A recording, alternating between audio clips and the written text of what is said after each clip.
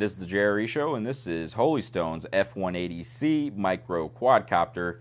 This thing has a built-in camera and just flies awesome. Real quick, let's take a look what comes in the box. We have the quadcopter itself. They have two batteries. These are 3.7 volt, 350 milliamps. Now, the included battery charger is a dual charger. You can charge both of these batteries at the same time. Uh, estimated charging time is about 45 minutes. Now, not only do they include four extra blades, if you break them, they include eight. That's awesome. Not many people do that. So, also, we have an SD card that's included, it's two gigabytes, and an SD card reader. We also have the transmitter. The transmitter runs off of four AA batteries that are not included. So let's take a look at just setting this up real quick. I'll just put the battery in here. And this doesn't have an on-off switch, so I just plug it in. First I want to turn on the transmitter. Plug it in here. I'm to go up and down real quick, and I'm paired there. It's a good idea to tuck this wire in here in the back. Otherwise, it might get split like mine did there, but it still works just fine. Let's go over the transmitter. This is a 2.4 gigahertz, four channels. Uh, right here we have, you know, go up and down. You got your left and right. The left trigger will go through the four different modes. It's got 100%.